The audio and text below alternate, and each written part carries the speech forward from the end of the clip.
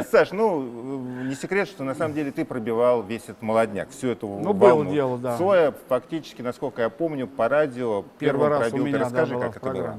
Ну, приходилось ругаться, честно говоря. Это было начало 80-х, и первые записи питерских групп. Мгм, Что это Пришли эфир на был? Как- радио. как- какое это радио А? было?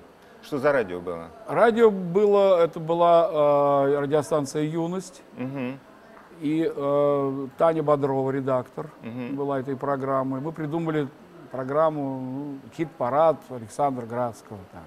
И ты сам отбирал персонажей. Более того, э, я даже сам считал э, очки. Люди присылали э, какие-то письма, и по этим письмам мы э, раздавали всякие места. Причем это был такой довольно странный хит-парад. Он не был жанрово ориентирован. Туда могли попасть э, любые музыканты, и рок-н-ролльщики, и эстрадники. М. и Термин даже- и попса даже тогда по- еще и- не существовал. Но... Ну, поп-музыка там тоже была. Мгм. И Нет, э, и попса Пресняков, это все-таки не одно и то ну. Пресняков молодой, Маликов, э, э, Кузьмин, который, в общем, э, такие вещи писал довольно рок-эстрада такая.